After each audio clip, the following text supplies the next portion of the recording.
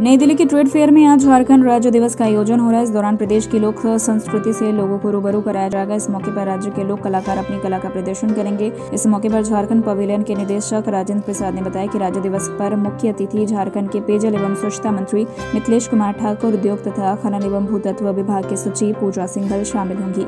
झारखंड दिवस का आयोजन प्रगति मैदान के एम्फी थिएटर में होगा। बता दें कि निवेशक और उद्यमियों को राज्य में आकर्षित करने के लिए अंतर्राष्ट्रीय व्यापार मेले में झारखंड को फोकस स्टेट बनाया गया है। इस मेले में झारखंड को 25 स्टॉल आवंटित हुए हैं।